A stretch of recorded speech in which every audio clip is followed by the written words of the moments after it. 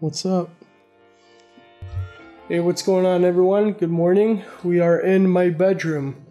Uh, today's video is going to be about Fuli's diet, and I'm going to take you guys into the kitchen in a little bit, but first I need to get prepared for the day, get myself organized, and yeah. Uh, just as a side note, if you guys did not know, there is a My Pawesome Frenchie group. The link's down in the description. Share your pictures, um, ask questions, network with other people in the group. Um, that's what it's there for. All right, so give me a second while I go get myself prepared. All right, I'll see you guys in a bit.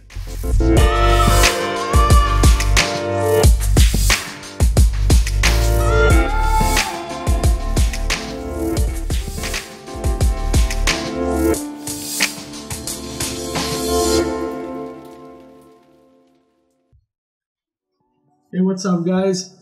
Welcome back to another video. Last week we did a video about, well, I did a video you guys watched, and we talked about uh, raw food for dogs and what I thought about it, why it was beneficial, and why I feed Fuli raw food.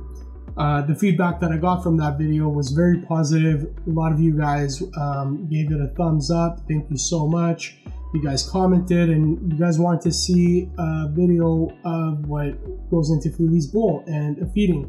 So that's what today's video was about.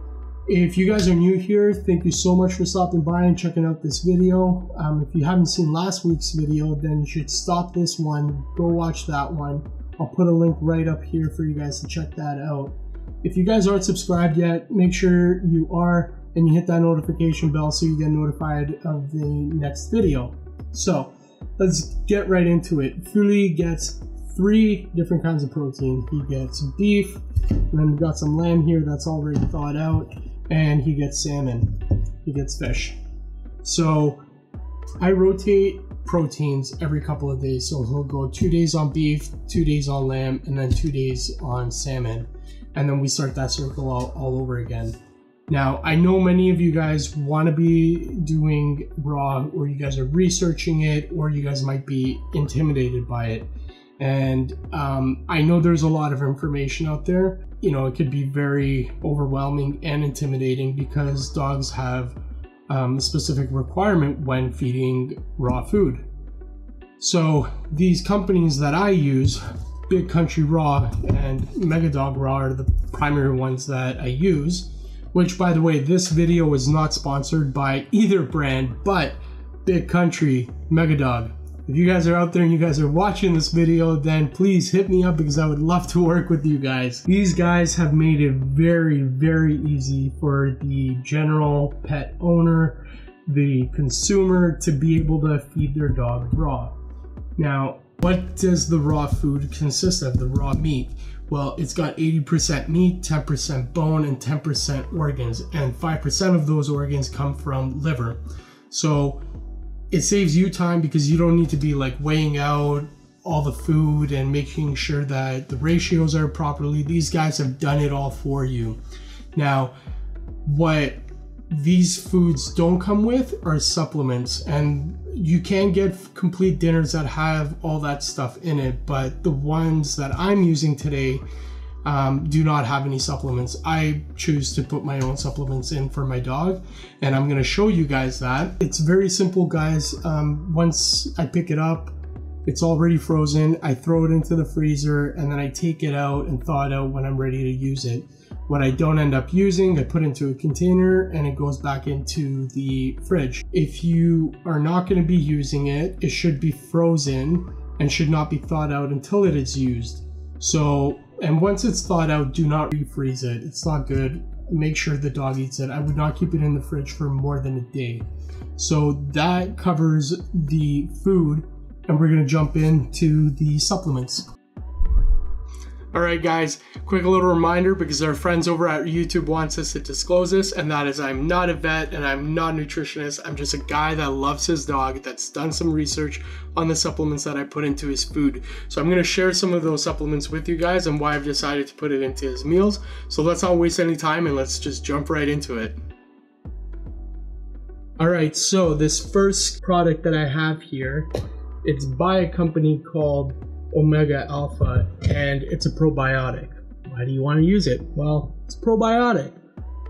All jokes aside, though, it is a great product. It is a great supplement, and the reason you want to be putting it into your dog's diet is for several reasons. One, it's a good bacteria that you're going to be pushing into your dog's um, system. It's healthy, it's good for their GI tracts, it boosts their immune system, and it really helps combat some of the bad bacteria out there like Salmonella and E. coli. You know when your dogs are you know outside some of you might be taking your dogs for a walk or just letting them out in the back in the backyard. And you know we don't always have eyes on them. And you know they could be smelling another dog's blood or you know smelling another dog's poop or you know pole that they might have peed on and they they're going to be collecting uh, you know bacteria and we want to protect them from all these nasty things of getting into their system and making them sick it's going to cause you a headache and they're not going to feel good. And at the end of the day, we want our dogs to be healthy and um, feeling good. Not only is it going to protect them from, uh, you know, all the bad bacteria that's out there, but it's going to also help with um, their nutrient absorption. Absorption. Ooh, that was a hard one to say. Nutrient absorb. I it's gonna help them absorb more nutrients. There we are. This is a really great product. I highly recommend it. I put it into Fuli's bowl and he loves it. He loves his food. So yeah, get yourself some probiotics. Now this next product that I have in my hand, it's by a company called Integricare and it's Triacta. And what this is, it's basically glucosamine for your dog. And now you're probably wondering, Pete, why do I need glucosamine for my dog? Well, I'm going to tell you why. Glucosamine is really good for our hips and our joints. Now, just like you and I, like humans, as we get older, we start to get stiff in our hips, our back, our joints start to ache, and all that stuff. Same thing happens with dogs. As they get older, they start to get stiff. This product is to help lubricate their hips and their joints and keep them healthy. All right, let's talk to essential fatty acids for a moment. Omega 3s by far one of the best supplements out there that you could be giving your dog. Not only is it good for your dog, but it's good for you guys as well. It's gonna help boost its immune system. It's gonna fight as an anti-inflammatory. Not to mention, it's good for the overall health of the skin and your dog's coat. This is the stuff that's gonna get you to that nice, gorgeous, shiny coat that we all been fantasizing about. So because of that, I do recommend it. Um, however, there is a downfall to it. Your dog's breath is gonna stink really bad, and I am not kidding when I say that. It's gonna just smell like a fishing dock, like bad. Your face is probably gonna melt off. You're gonna have trouble breathing. Okay, I'm just kidding. It's not going to be that bad, but it, their breath does stink a little bit after. So, um, you know, that's the only downfall with the supplement. But I mean, for what we're getting out of it, I think I could tolerate bad breath for an hour.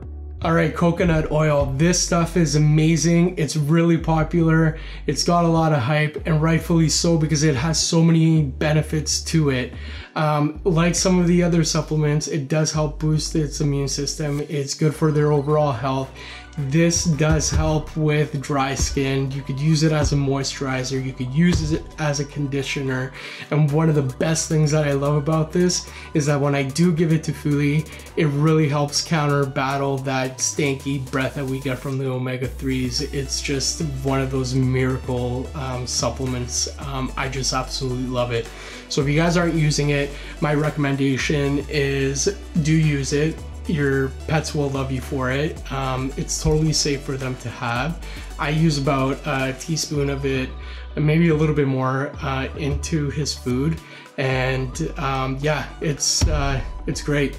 So I think I'm gonna go feed Fuli now because he's waiting for me very patiently, and I'm gonna go over some of the stuff that I actually put into his food. So we're gonna do that right now.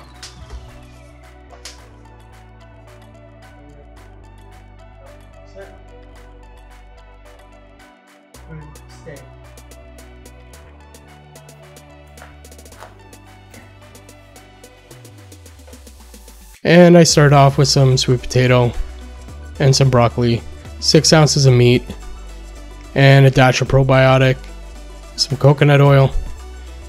Oh yeah, and his omega-3s. And I just mix it around. For this recipe, I didn't have any glucosamine just because I ran out, but you just want to mix it around. So it looks something like this, and then I just toss it some more, and then I go feed it to him. Now over here, I make him wait and sit a little bit longer just because I'm testing him. And I won't let him go get the food until I say it's okay.